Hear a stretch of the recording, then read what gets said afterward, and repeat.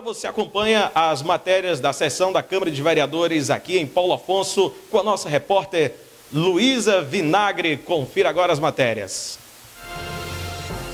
Estamos aqui na Câmara Municipal de Paulo Afonso para acompanhar mais uma sessão ordinária aqui na casa. Hoje vamos acompanhar o depoimento de alguns vereadores. Veja mais na TV Chico Sabe Tudo.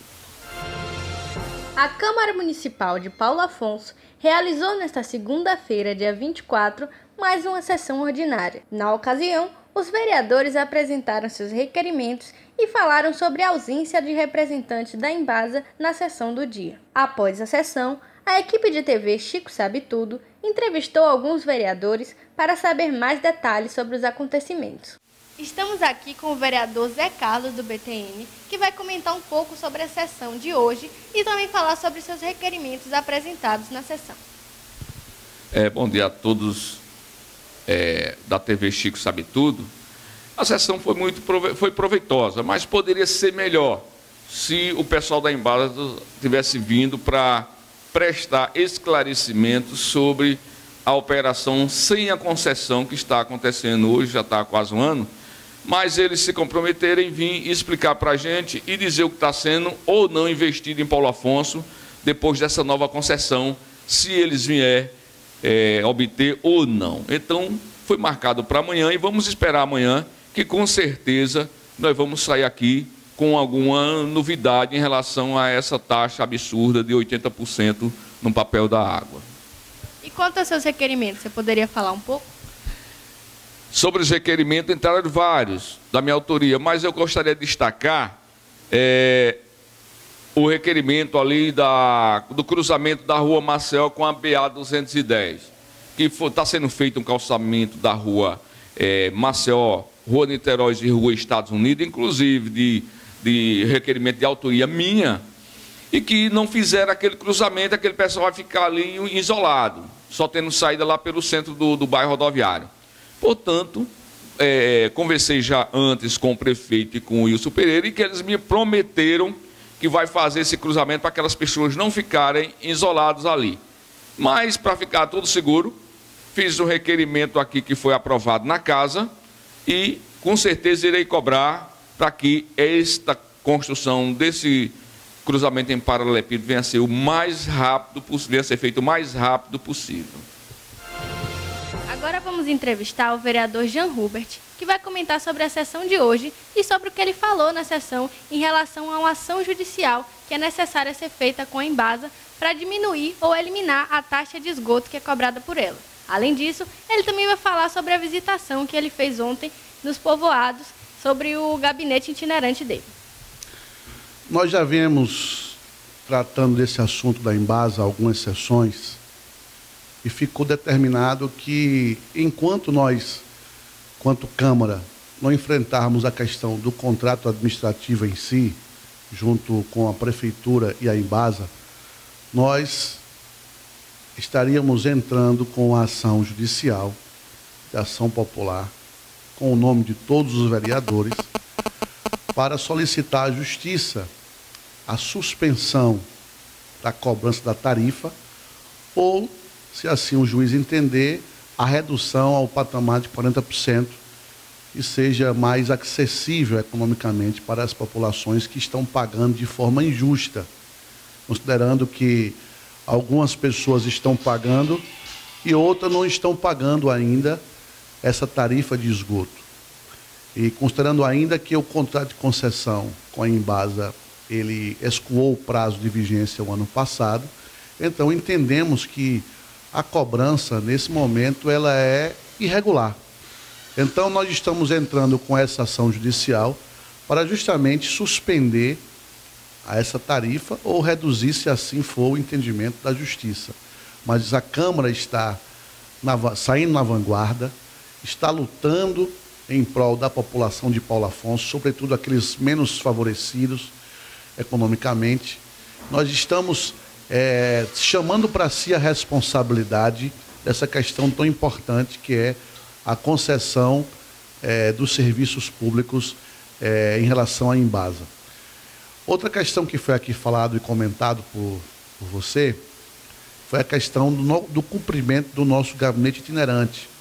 E ontem nós tivemos o privilégio e a graça de estarmos em alguns povoados como Xingozinho, Tabuleirinho, Canoas, Salobro e Situtará. Nosso gabinete foi todo. Lá ouvimos pessoas por pessoas, visitamos casas, ouvimos as suas reivindicações, deixando desde já que eu fui ser agradecer pela votação expressiva naquela região, dizer que me coloco à disposição deles, quanto eleitores, quanto cidadãos, porque o meu mandato não é meu, o meu mandato é do povo. E lá fomos ouvir as reivindicações de cada, de cada pessoa. Anotamos e vamos apresentar às autoridades devidas para que tomem as providências.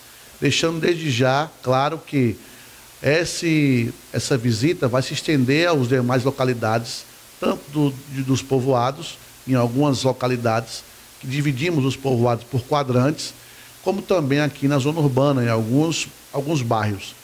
E nós vamos dar esse prosseguimento durante esses quatro anos desse gabinete itinerante, porque nós precisamos ouvir os anseios da população lá em sua localidade, que é muito importante para que possamos fazer um trabalho, conhecer os problemas lá na sua localidade, para que possamos trazer isso para o plenário da Câmara, para que possamos discutir também aqui e dar o encaminhamento devido. Então é esse trabalho importante que estamos fazendo em prol da sociedade, em prol do povo de Paulo Afonso, que é esse o dever e o papel do vereador.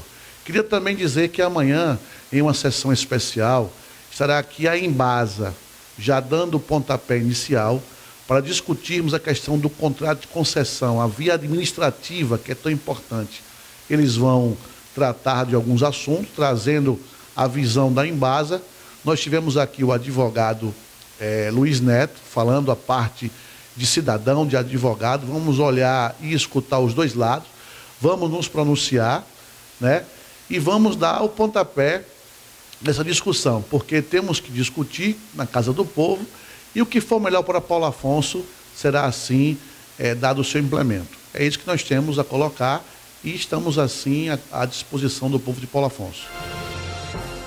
Estamos aqui com o vereador Antônio Alexandre, que vai falar um pouco sobre a sessão de hoje, que ia contar com a presença da Embasa, mas infelizmente eles não estiveram presentes e a sessão foi adiada para amanhã.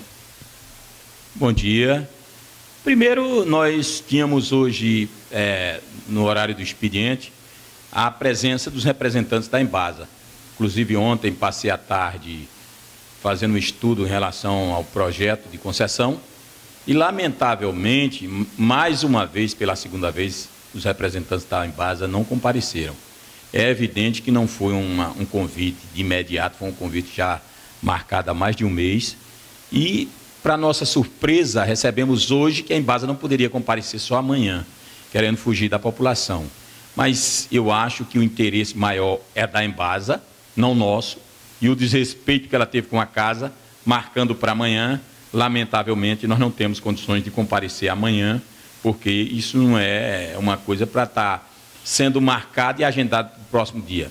Então, sabemos nós que há uma concessão a ser votada, e essa concessão, nós sabemos que existe um interesse muito grande por parte da Embasa, porque esse projeto aí dos 80% da taxa de esgoto está sendo cobrada como uma taxa ilegal, nós não iremos aprovar. E hoje eles tiveram a oportunidade de fazer a defesa em relação a isso, mas não compareceram. Infelizmente, não tem interesse de fazer essa defesa. E, pelo menos, da oposição, da bancada da oposição, nós não daremos a concessão à Embasa. É claro e evidente que tem a, a bancada do governo e nós esperamos que eles tenham o mesmo posicionamento, porque quem defende a população não trabalha de dar essa concessão à Embasa aqui no município de Paulo Afonso. Eu acho que é essa a grande preocupação nossa, porque a Embasa é campeã de reclamação no município. Portanto, acredito que quem quiser fazer é, é, a defesa da nossa população, consequentemente, não vai votar pela concessão para a Embasa poder cobrar muito mais ainda dos contribuintes de Paulo Afonso. Você acabou de acompanhar mais uma sessão aqui na Câmara de Paulo Afonso.